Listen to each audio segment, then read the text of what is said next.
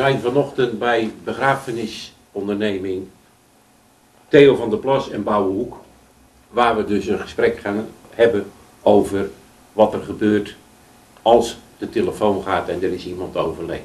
Maar we graag eerst eventjes jullie je voorstellen. Nou, mijn naam is Theo van der Plas, mede-eigenaar van de firma en dit is mijn compagnon. Ja, mijn naam is Bouwe Hoek. En ook dus, eh, zoals Theo al zei, mede-eigenaar van de begrafenisverzorging Theo van der Plas hier in Katwijk. En ik ben eh, Richard Verheij. Ehm, bij nood eh, inzetbaar voor de mannen. Ik ben eh, acht jaar geleden gestopt als uitvaartverzorger. en eh, de mannen kregen daar lucht van en eh, vroegen mij eh, om in nood eh, hun bij te staan. Dus eh, vandaar mijn aanwezigheid ook hier. Juist. Brengt mij gelijk op de volgende vraag. Wat gebeurt er, dat heb ik het net ook al gezegd, wat gebeurt er op het moment dat de telefoon gaat? Wat wordt er dan in werking gesteld? En wie pakt wat op? Ja, dat is heel wisselend, want ehm, we hebben één eh, telefoonnummer wat altijd bereikbaar is. En eh, degene die dienst heeft, die pakt op dat moment de telefoon eh, op. En dat, nou, om een voorbeeld te geven, net als vanmorgen. Bouwen had dienst en de telefoon gaat. Nou, bouwen, maak het maar af. Ja, de telefoon gaat en eh, er komt een overlijdensmelding. Dus eh, in dit geval eh, meldt, een meldt een zoon dat zijn moeder is overleden. Nou, je neemt gegevens op en je gaat de afspraak maken met de familie. En vervolgens is het eerste wat je gaat doen, dat is het, bellen van de, van de verzorgers die naar het huis toe gaan waar, de over, waar de- degene is overleden.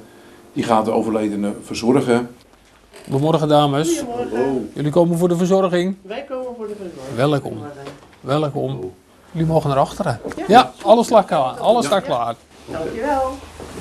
En eh, Theo of ik gaan de afspraak maken met de familie voor het, eh, voor het gesprek. Om het een en ander, om eigenlijk alles te regelen met betrekking tot, eh, tot de begrafenis. Dat is eigenlijk het eerste wat er, wat er gebeurt na de overlijdensmelding, zoals wij dat noemen. Nou, eigenlijk gaan we eerst inventariseren wat alle wensen zijn. Eh, het is ook maar net in welke situatie je terechtkomt. Of een plotseling overlijden is of, of een verwacht overlijden. Want als het een verwacht overlijden is, dan gaat het allemaal wat rustiger dan een plotseling overlijden. Want dan is het natuurlijk al veel hectischer en, en paniek en, ontreddering. Maar in het voorbeeld van vanmorgen was het een verwacht overlijden. Dus dan kun je heel rustig een gesprek ingaan. En eigenlijk inventariseren wat de wensen zijn. Welke locatie, welke dominee, eh, voor locatie voor eh, de uitvaartdienst, voor de condolences, et cetera. En dan gaan we een, eh, eh, een belronde doen naar de wens van de familie toe. Van nou ja, eh, wanneer willen jullie? En dan gaan we bellen van, nou ja, kunnen jullie dan? Wie belt de dominee? Kunt u? Is de begraafplaats vrij? Is de kerk vrij? Nou, alles op een ritje. Het klopt, klopt allemaal. De dominee kan alleen niet. Die kan een uur later. Dan moeten we alles weer om gaan zetten natuurlijk. Dus Ja. het is soms wel eens lastig om, om, om het allemaal op één rit, om op één rij te krijgen. Maar het lukt altijd. Ja, Het is soms sch- schuiven, zeker rond feestdagen als Pasen en Kerst. Wanneer er dagen in de week wegvallen, dat het eh, aantal dagen qua begraven korter wordt in een week, ja, dan wordt het vaak drukker. En dan moet er meer geschoven worden. Als je dan het hoognodige weet wat de wensen zijn in het algemeen over, het, over eh, eh, begraven, waar en, en, en hoe. En dan, dan wordt vaak eh, het opstellen van een rouwkaart en het uitzoeken van de kist, dat wordt dan uitgesteld tot een later tijdstip als dat mogelijk is. jij hebt nou vanochtend dat gesprek opgepakt. Jij bent er naartoe geweest. Is het dan zo dat jij die, die hele begrafenis begeleidt en afhandelt? Ja, ja degene die het, eh, die, die het gesprek heeft met de familie, die, leidt ook, eh, die begeleidt ook de familie de, de, de hele periode tot aan de, tot aan de begrafenis. Ja. Dus in principe heeft, eh, ben jij ook het aanspreekpunt dan voor die familie in, de, in die dagen. Ja. Een rouwkaart, maken jullie die zelf? Ja, die maken we zelf. Dus we stellen hem op met de familie, nemen een map mee met wat voorbeelden van rouwkaarten. En, eh, en natuurlijk is er van alles mogelijk, een eigen foto, een eigen afbeelding of van een, van een schilderij of zo. Maar we maken alle, alle rouwkaarten maken we zelf. Ja. En verzorgen jullie ook dan de verzending daarvan? Ja, ja. Ja, we laten altijd de enveloppen die bij die rouwkaart horen, laten we achter. En zodra de eh, familie dan klaar is met het adresseren, dan eh, worden ze of hier gebracht of we halen ze eventjes op. Ja, net als de rouwkaart hebben we een mappen van, van, van, van kisten. Ja. En ja, je hebt ook wel eens mensen ja, die willen echt iets heel eh, speciaals. Ik geef altijd het klassieke voorbeeld. Als je een, eh, iemand, heeft, eh, iemand heeft die zijn hele, hele leven lang timmerman geweest is. Die wil graag vaak wel een, ja, een massieve eikenkist. Kosten met betrekking tot de begrafenis die zijn best hoog. Dus Ja. we proberen ook wel mee te denken van, joh, ja, nou ja, probeer niet de allerduurste kist te nemen als het, eh, ja, als het niet de hoogste prioriteit heeft bij een eh, papieren kist, een natuurkist. eh, eh, Even, even uitleggen wat een natuurkist is. de natuurkist die is op een, op een natuurgetrouwe manier gemaakt, met, met hout dat op een verantwoorde manier geproduceerd is. En we vinden dat erg belangrijk omdat eh, ja, we willen het bos ook bewaren voor eh, toekomstige generaties. Een van de dingen die wij doen is eh, uit het zaaghout planken halen. En die planken die worden gebruikt voor uitvaartkisten. In ieder geval voor elke kist die wordt verkocht planten we ook weer een, een boom aan.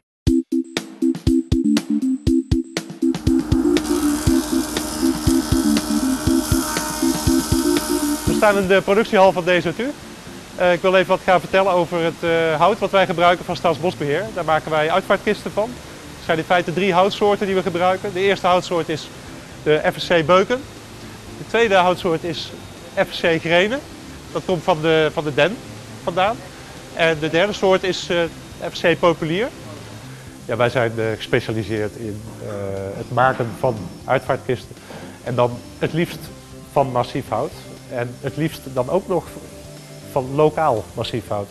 Zo dicht mogelijk bij de bron, zodat we een zo natuurvriendelijk, zo ecologisch mogelijk product eh, kunnen maken. Eh, Thomas was net bezig met lijmen. Hij eh, heeft een aantal planken voorbereid waarbij hij de kopjeskanten eh, de, de lijm aanbrengt. Dat is een watergedragen lijm. Vervolgens ging hij de planken opstapelen en in de pers plaatsen. En dat is nog een eh, ja, redelijk ambachtelijk proces. Ehm, ja, het eindresultaat komt dadelijk over een twee uur, 2,5 uur uit de pers.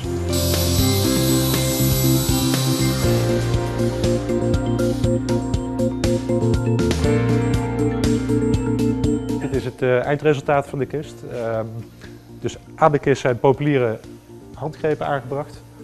Eh, in de kist is een bekleding van biologisch linnen met een maisgevuld kussen van linnen. Ja, uiteindelijk een, een prachtig product, denken wij. Kijk, ik al, als één apart bedrijf, als één individu kun je de wereld niet eh, verbeteren. Dat is een beetje cliché, maar het is wel zo. Iedereen moet toch zijn zijn steentje eraan bijdragen. Dus eh, laten we klein beginnen. En je merkt ook, als je klein begint, stap voor stap, ga je toch steeds verder in, in eh, ideeën die je toch weer tot, ten uitvoer brengt. Je brengt ook andere collega's, andere eh, vrienden, kennissen, ondernemers ook tot een stukje inspiratie om eh, toch te denken aan milieu. En eh, een stukje bewustzijn, dat, dat, dat, dat, eh, dat is gewoon belangrijk.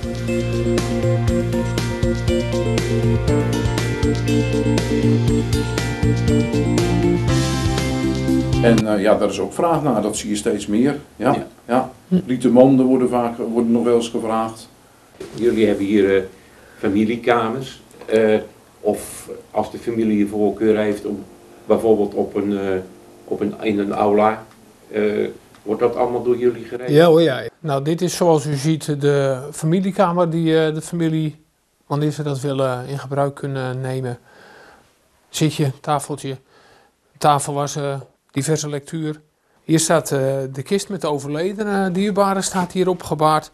Dit wat u hier ziet, dat is de koeling die, die door de kist heen het lichaam eh, zal koelen.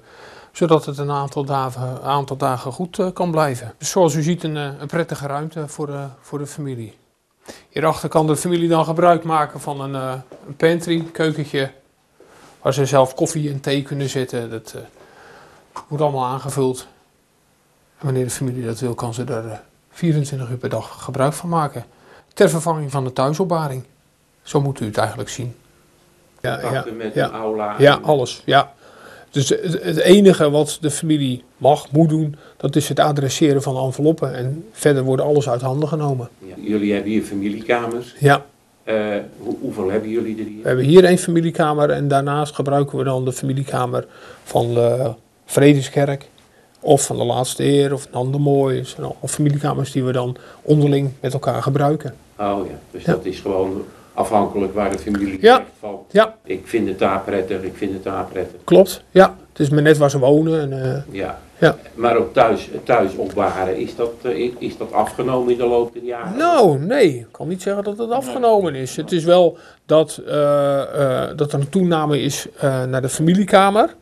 Maar dat, zijn meer, dat waren meer de, de, op, de opbaringen die bijvoorbeeld in een rouwcentrum plaatsvonden. Waar je dan geen mogelijkheid had voor 24 uur toegang. Nee. En dat is eigenlijk weggevallen. Maar eh, als het enigszins mogelijk, mogelijk is, dan, eh, dan kiezen de mensen toch ook nog wel voor een thuisopbaring. Ja. Als het mogelijk is, hè. Ja. Ja, Ja. en hoe bedoel je als het... Nou, als kijk, vier ogen een flatje nou, en, en iemand is in het ziekenhuis overleden, ze wonen vier ogen een flat zonder lift, ja, dan, Nee. dan kan het eigenlijk nee, niet. dan Nee. En, en, en wat jongere gezinnen waar er nog kleine kinderen rondlopen, ja, dan is het eigenlijk ook ja, niet, ja. eh, niet, niet, echt, eh, niet echt handig. Hebben jullie ook al veel crematies die, eh, die jullie hier doen?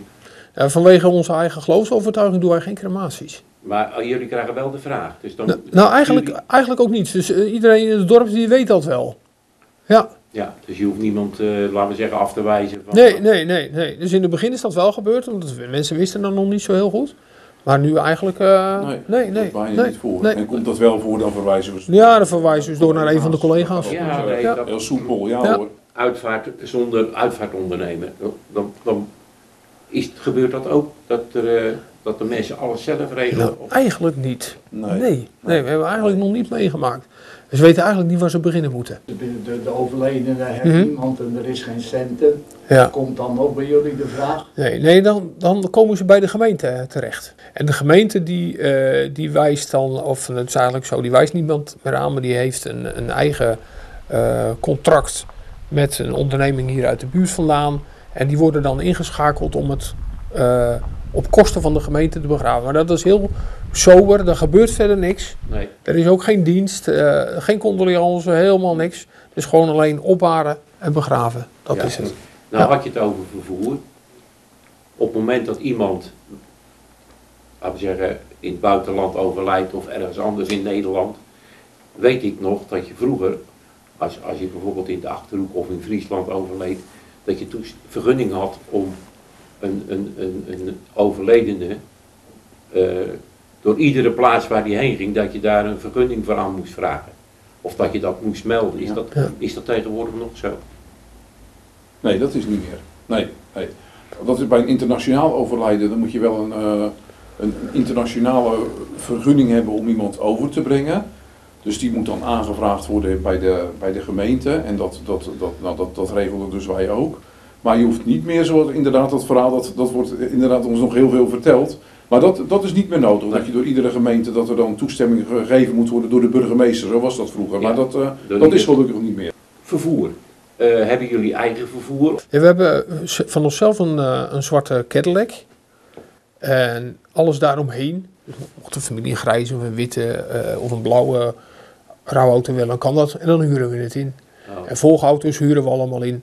En eh, een koets kan worden ingehuurd. Dat hebben we natuurlijk allemaal niet zelf. nee. Nee, nee, want dan zou het wagenpark wel heel groot worden. Ja. Voornamelijk wordt de, de zwarte Cadillac gebruikt. Ja. Dat is toch wel. Ja. En eh koetsen. Ja, ja, ja. af en toe hè. Eh, kort geleden hadden we in het, eh, in het een, eh, een begrafenis met, de- met, de- met, de- met de zwarte rouwkoets. Met vier paarden ervoor. Dus ja, dat is een hele, ja, heel indrukwekkend plaatje om dat, eh, om dat, om dat, om dat te zien. Ja. Dat, eh, ja, dat geeft ook eh, ja, heel veel bekijks. En dan kom, ik, dan kom ik nou eindelijk bij jou terecht. Want de uitvaart die, die vindt plaats. Een hoop mensen die willen nog uit de kerk begraven worden. Gelukkig wel. Ja. Ja, alles heeft natuurlijk te maken met de wensen van de familie. En belangrijk daarbij is, verwachten ze heel veel mensen. Je kan in een klein aulaatje een condoleance houden, of bij mensen thuis, of in de familiekamer. Ja, als je 300, 400 mensen verwacht, dan wordt er snel uitgeweken naar eh, een kerkgebouw met een eh, zalencentrum erbij. Waar je dus eh, ja, een mooie doorloop hebt om de familie te condoleren, afscheid kunnen nemen van de overledene. En eventueel een, eh, een kopje koffie kan aanbieden. Ja. Ja. En dat, en dat kan hier in Katwijk ook. Ja hoor, ja. ja. Er zijn diverse gebouwen waar we dan gebruik van kunnen maken. Waaronder, nou ja, in het Rijnsburgse bellen we Richard. Dat mag in Katwijk, eh, in Katwijk dat, dat- hij mag net over de brug komen. Ja hoor, nee, hij is altijd welkom. Ik heb dromen, maar eh, Ja. zover zijn we nog niet. Nee. Eh, ja, nog even een stukje terug van vroeger. Ik weet niet of jullie dat hebben meegemaakt. Eh, het aanzeggen, zoals dat vroeger, gebeurt dat, gebeurt dat nog? Nee, nee, nee. Wij hebben het ook nooit meegemaakt. Nee, ik weet er ook niet van. Dus wat, wat ik ervan weet, dat is van de verhalen. Ja. En van de foto's die, eh, die je dan ook wel ziet. Ja. Dus een man met een grote zwarte hoed voor de deur, eh, die kwam aanzeggen. Ja. Ja. Nee, maar dat is niet meer. Ja. En eh, Nou, eh, ja, ik weet niet of dat hier in Katwijk, maar dat er vroeger witte lakens voor de, voor de ramen Ja, ja, ja. Is dat, gebeurt dat? Gebeurt Nou. dat nog? Sporadisch. Maar dat is inderdaad, dat was ook vroeger eh, Ja. standaard. Standaard. Ja. Ja. En eh, hebben jullie nog meegemaakt dat er zand gestrooid werd? Nee, ook uit de overlevering. Ja. Ja, Ja, weet ik wel van dat, verhalen. dat hoorde ik ook dat pas. Eh, Dat, dat wist ik ook niet. Een paar weken geleden hoorde ik dat voor het eerst. Ja, Ja. dat- en als er dan iemand eh, nou ja, op sterven lag, maakte dat zo'n verschrikkelijk geluid dat er voor dat Ja. huis zand gestrooid werd. Om, dat, om dat geluid te dempen. precies. Ja. En een ander mooi, misschien dat het ook een, misschien een aardige anekdote. Bij ons heb je ook in Katwijk de uitdrukking de dominee gaat voorbij. Dan viel het stil in huis. En dat heeft ermee te maken dat als iemand op zee gebleven was, dat dan de dominee kwam aanzeggen samen met de reder om, om, om, om aan te geven er is iemand op zee gebleven.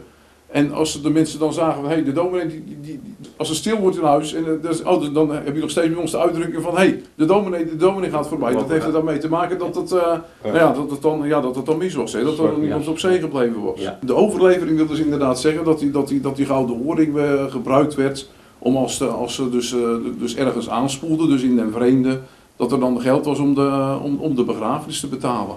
Dat de overledene op zee bleef. Ja. Hoe werd hij dan begraven? Werd er dan een uitvaartdienst gehouden? Als, als iemand op zee bleef, dan heb je natuurlijk geen, geen stoffelijk overschot. Nee, nee, nee. Hoe, hoe, hoe- werd er dan een rouwdienst gehouden? Ik weet wel dat er dan Dat wel. weet ik een- niet. Ik, ik, heb het, ik weet wel, eh, ja, ook uit de, uit de wat verre familiekring, dat er toen wel een, eh, dat er dan wel een herdenkingsdienst gehouden werd. Ja. Wat is de meeste muziek die dus eh, gevraagd en gedraaid wordt bij uitvaart? Of is dat weer verschillend per jonge mensen, oude Ja, mensen? ja, ja dat is, dit is maar net. Zeg, wat oudere mensen zijn die traditioneler in de muziekkeuze dan wat jongere mensen. Ja, daar weet je ook wel wat van natuurlijk als, als koster. Ja, eh, gelukkig zijn er nog veel kerkelijke uitvaarten waar je dus de psalmen en de gezangen hebt met eh, orgelbegeleiding. Wat ik persoonlijk eh, toch het mooiste vind en eh, waardig bij een uitvaart. Ja, eh, in de lijn weer van de wens van de familie en de overledene. Ja, kan het zomaar eens gebeuren dat je met een, eh, een top 40 nummer de kerk eh, verlaat. Ja. Eh, ja. Alle wensen van de familie. En dat Ja. probeer je zoveel mogelijk eh, binnen de lijnen, moet ik altijd wel zeggen, dat je daar de gehoor aan geeft. En eh, ja, met een dominee en de familie ga je zo'n uitvaart vormgeven en aan de wensen voldoen. Ja, dus de uitvaartdienst zelf, daar bemoeien jullie je Nee. niet mee. Nee. nee, nee. Dat is echt eh, de voorganger Van de dominee. of de dominee ja. of iemand anders die dat... eh, en dan hebben we de uitvaartdienst gehad. Dan moet de overledene naar het graf toe. Vroeger werd dat lopend gedaan. Eh, met dragers. Hebben jullie ook nog dragers? Eh, zijn die in, vaste dienst of zijn die oproepbaar? Of hoe werkt dat? Wij hebben eigen dragers. Dus zeg maar, om als voorbeeld te geven, de, de dienst is in een kerkgebouw in het dorp. En dan gaan we met de rouwauto of met de koets naar de begraafplaats. En daaruit vandaan wordt dan, als het de wens van de familie is, de overledene naar het graf toegedragen. En we hebben eigen dragers, allemaal op oproepbasis. En dat zijn een, eh, een flink aantal mannen die eh, breed inzetbaar zijn. Ja. Ja. En, maar ja, echt lopend, eh, lopend door het dorp met, met een, een, een kist op de schouder. Nee, dat gebeurt niet meer. Nee, nee, dat zag je inderdaad ook wel vroeger, dat, dat ze echt het hele dorp doorgingen met, de met de dragers. Ja. Het zal onnoemelijk zwaar zijn geweest, denk ik wel eens. Want, dat, eh, dat is misschien ook weer afhankelijk van wie of overleden is. Ja. Maar ja, toen had je natuurlijk weinig anders. Ja. Of, een boer. of een boerenkar of zo, hè? Ja. Ja, ja, dat zag je ook wel. Ja.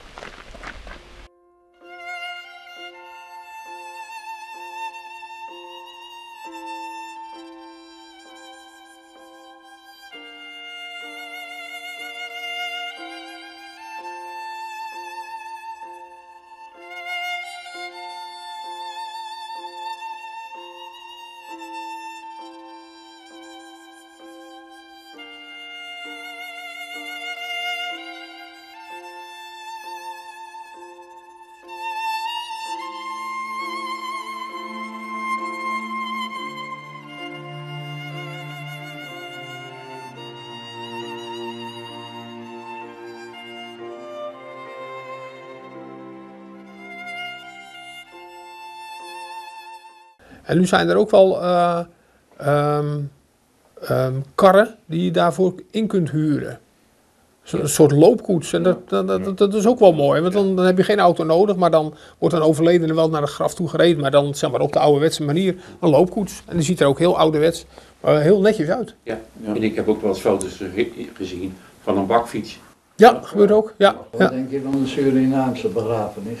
Ja, dat, ja dat, Ja, dat, die gaat, dat, eh, eh, dat gaat er swingend, aan- ja, dat gaat er swingend aan toe, eh, Piet. Ja.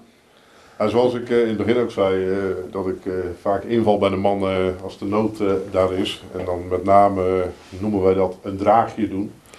Als eh, binnen de dragersgroep eh, voor een uitvaart eh, te weinig mannen zijn, dan eh, mogen ze mij eh, benaderen. En dan hebben we het al over de, het dragen van de kist gehad. Nou, ik moet soms niet aan denken dat we van de kerk tot aan het graf eh, de kist moeten dragen. Want alleen op de begraafplaats zijn wij vaak al blij als die helemaal op de lift staat. Want het is, ja, het is een gewicht. Ja. Maar aan de andere kant, die loopt met z'n zessen onder de baar en dat, eh, dat gaat goed. En mits we allemaal in de pas blijven lopen. Nou, dat Maar is ook weer eh, afhankelijk een beetje van hoe zwaar. Want je had het net over een eiken kist. Ja. Ik denk dat die veel zwaarder is dan dat je Ja. een. eh, Ja, ja, ja. Alternatief daarvoor is dan eventueel een rijdende baar. Dus dat de kist eh, gereden wordt tot aan het graf. Ja. En dan met zes man op het graf gezet wordt. Ja. Maar over het algemeen, als het even, even lukt, dan Ja. gaan we toch eh, schouderen. Ja. Ja. En ook daar zie je ook wel een klein beetje een verschuiving dat ook, eh, dat ook steeds vaker voorkomt. Hè, dat de familie dat zelf wil doen. Hè, dat zelf, eh, ja, in het kader van dat het allemaal wat persoonlijker gaat en dat de familie steeds meer eigen inbreng wil hebben. Dat ze bijvoorbeeld ervoor kiezen om zelf eh, de overleden naar het graf te begeleiden, al dan niet dragend of met, eh, of met de rijdende baar. Wij proberen alles op, wij zeggen altijd op een zo onopvallend mogelijke wijze alles in goede banen te laten leiden. ja. Ja. Is er nog een speciale auto of een speciale kar waar als er veel bloemen zijn, dat die bloemen mee kunnen? Of hoe doen jullie dat met een auto? En, eh, Ehm, in Katwijk is de, de uitbundigheid wat betreft bloemen wat minder als dat het op Rijnsburg is. Dan zeg ik het goed, tegen Ja, mooi verwoord. Ja, ja, ja, ja. In, in Katwijk kunnen wij veelal de bloemen kwijt in de rouwauto zelf. En, en mochten, het, mochten er dermate veel bloemen zijn, hebben wij een, een, een overbrengbus die wij dan gebruiken om de bloemen naar het graf eh, over te brengen. Nou, we mogen ook wel eens begrafenissen uitvoeren in Rijnsburg. En nou ja, Rijnsburg is een bloemendorp, dat, dat, dat weten jullie veel beter als dat, als dat wij dat weten. En, en daar gebeurt het eh, nou ja, met enige regelmaat dat, dat, dat de, ja, de hoeveelheid bloemen groter is.